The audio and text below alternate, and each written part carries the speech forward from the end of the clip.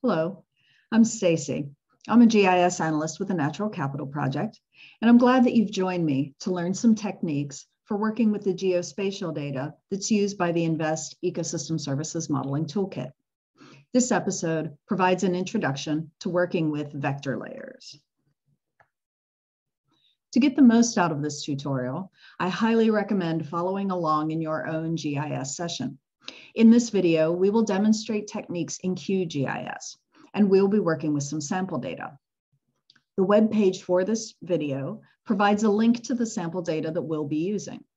So if you haven't already, now is a good time to pause this video, download the sample data, unzip it, and bring up a QGIS session before continuing.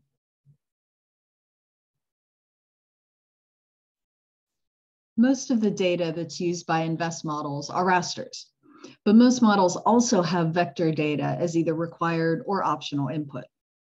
A vector layer may contain either points, lines, or polygons. The coastal vulnerability model provides a good example of all of these. Wind and wave data is given as a point vector. The continental shelf is defined as a line vector, and habitats are defined as polygons. Here are some examples of vector layers that are used as inputs to different InVEST models. The ones with an asterisk next to them, like geomorphology or watersheds, also require additional parameters for each feature, which we must define in the vectors attribute table. As usual, I recommend consulting the InVEST user guide to learn the specific requirements for whichever model you're working with. Something else to know about vectors is that there are two primary formats that they come in, shapefile and geopackage. Shapefiles were developed by Esri many years ago, and they've historically been the most common way of defining vector data. Now, I use shapefiles all the time, and you'll find shapefiles in many of our models' sample data sets.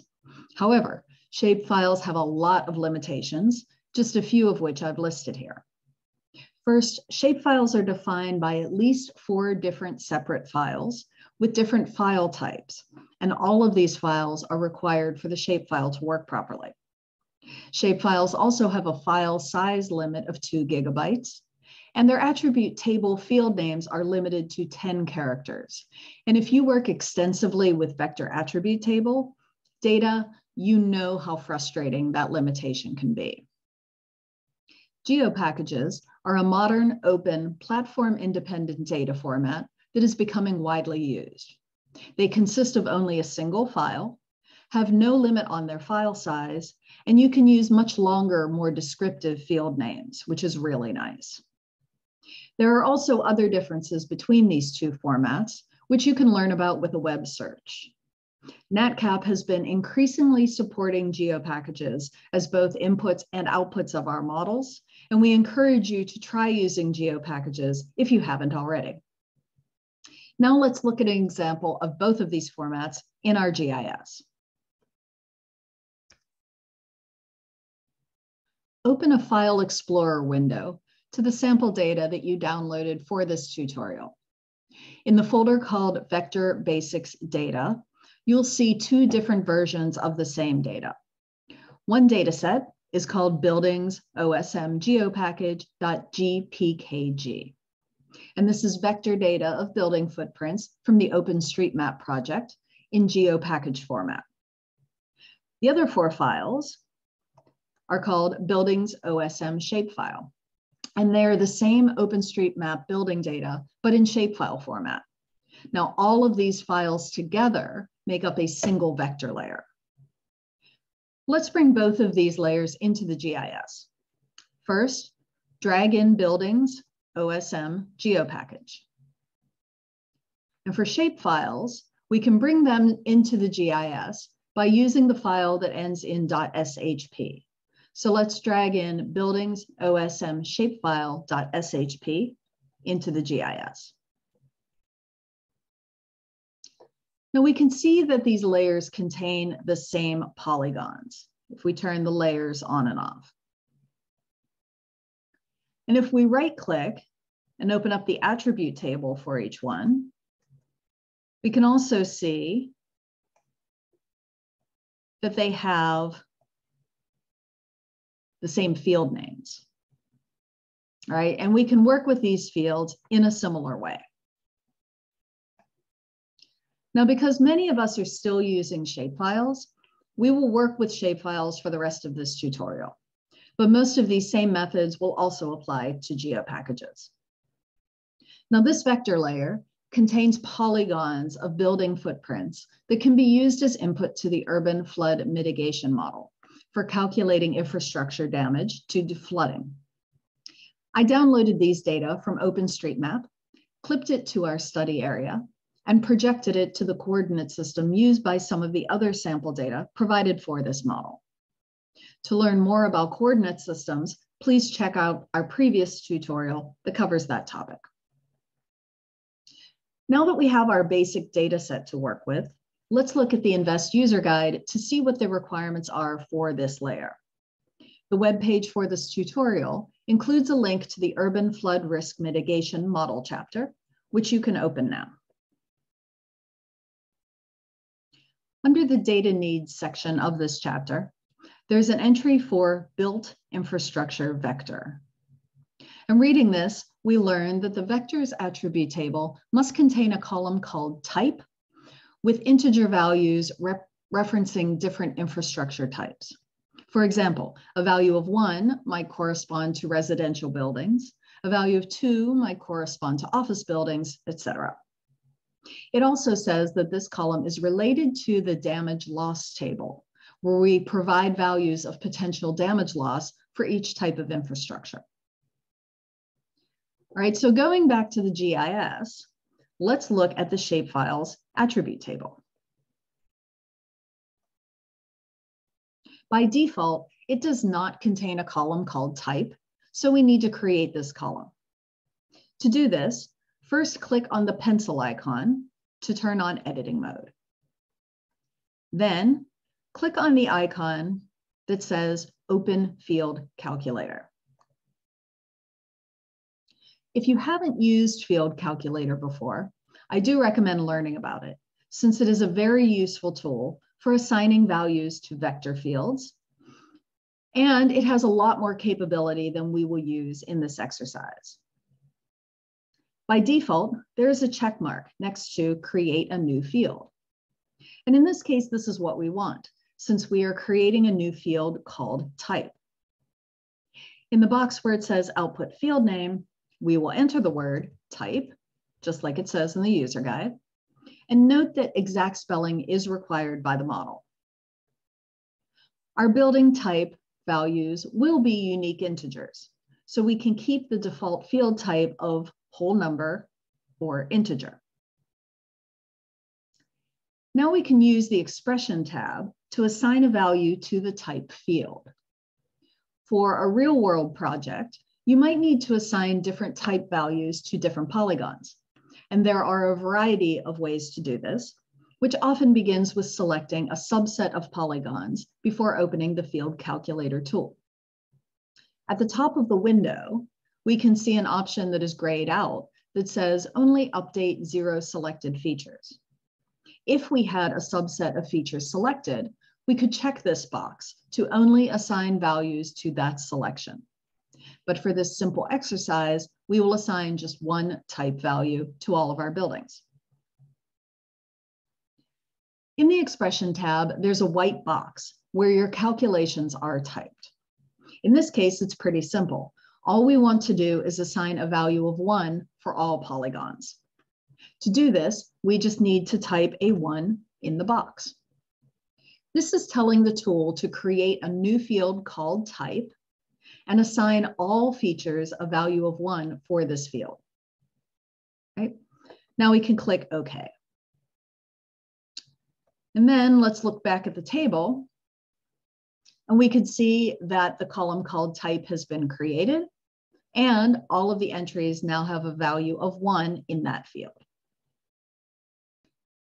To save our edits, click on the pencil tool or the editing mode button again.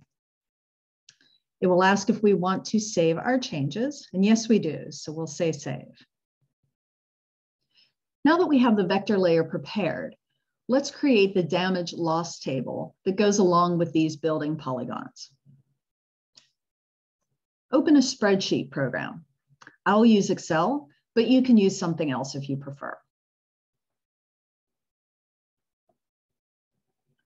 And first, let's go back to the user guide to read what it has to say about the damage loss table. It says that the table must contain two fields, type and damage. The type field has values that correspond with the ones that we just added to the building layer. And the damage field contains values of potential damage loss in currency per square meter. So let's add the two required columns to our table. First type, then damage. The type field has values that correspond with the ones that we just added to the building layer. And the damage field contains values of potential damage loss in currency per square meter. In our vector layer, we only assigned a single value of one to all of our building types. So under the type column, add the value one. For the damage loss per square meter, let's add an arbitrary value of 100. This is telling the model that any residential buildings that get flooded will incur a cost of $100 or whatever currency you're using per square meter. These values will be used to calculate the value of avoided flooding due to natural infrastructure. And of course, in a real world project, you'd be researching this damage value much more carefully. Let's save this table by clicking on the Save button. Where it says save as type, we want to select CSV, comma, delimited. This is the format that is required by the InVEST models. And then for file name, I'm going to call this damage loss.csv. And then click save. The next step of this process would be to test out your building layer and this damage table by running them through InVEST. We won't do that now. You can do that for homework. The sample data that was provided for this tutorial includes a folder called UFM model data, which contains the rest of the data required by the urban flood mitigation model. So please try out your new data by running it on your own. Next, we'll look at some of the InVEST errors related to vector layers. The buildings layer that we just looked at should work fine in InVEST. But what if it doesn't? What if we get an error? Listed here are several of the errors that you might encounter when running a model if InVEST has problems processing the polygons in your vector layer. Now, as you can see, there are a variety of these errors and they are not particularly user-friendly or self-explanatory. So when we're trying to decipher these errors, key words to look for are topology, geometry, polygon, and ring, all of which you see highlighted here. Errors like this usually indicate that there's something incorrect about the geometry of one or more of your features, usually polygons, like building footprints or watersheds. If you get one of these errors or ones that are similar, you'll need to go back to the GIS and use the check validity and fix geometries tools. So let's try that now. First, let's find out which features are causing problems by using check validity. Under the vector menu, go to geometry tools, and then choose the tool check validity. For the input layer, make sure that it says buildings OSM shapefile. And then we can leave the other options as default. And this will produce several temporary files with the results. All right, so we can just click run. In the tool output window, the log already shows us that it found one error and one invalid geometry. All right, so let's now close this window and look at the spatial results. The check validity tool produces one layer with valid features, a separate layer for invalid features, and a third output for errors. Right now, let's just look at the invalid output. Right click on the invalid output and go to zoom to layer. It zooms to one particular polygon. So now we know which one is problematic. And if we open the attribute table for invalid output and scroll to the right, we see a column called errors. And in this case, um, the problem is that the polygon intersects itself, which we can easily see by looking at the polygon. Now that we know the problem, we need to fix it with the Fix Geometries tool. So under Processing, let's bring up the toolbox. And then up here in the search window, type the word fix. And you should find a tool under vector geometry called Fix Geometries. Let's double click to launch this tool. For the input layer, again, we're going to select Buildings OSM shapefile. And then for fixed geometries, let's navigate to the folder where we want our outputs to be saved. So we'll say save to file. And I'm going to call this layer buildings OSM fixed geom dot shp. You can call it something else if you prefer.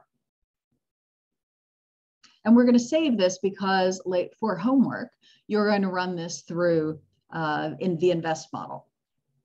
So click save. And then click run.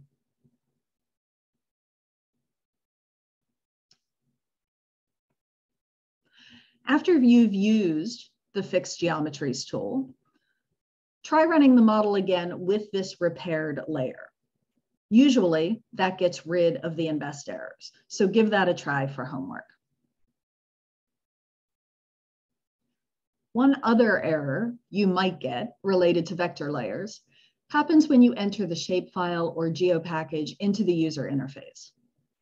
Red X's will appear next to the layer. We can see this next to building footprints. And you'll have a red X at the run button. And when you click the X, a message will appear telling you what's wrong. And in this case, the error says the fields are missing from the layer and the missing field is named type. If you get this error, you need to go back to the GIS and check the attribute table, adding the type field and populating it with values like we described earlier in this tutorial. Okay, that's enough for this session.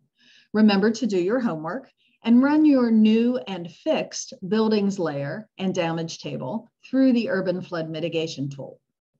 If you have any questions or comments about this episode, we'd love to hear from you on our community forum. There's a link to the forum in this video's webpage where you can search for previous posts and create a new post under the category of training. I and other techies at NatCap will see your post and respond as soon as we can.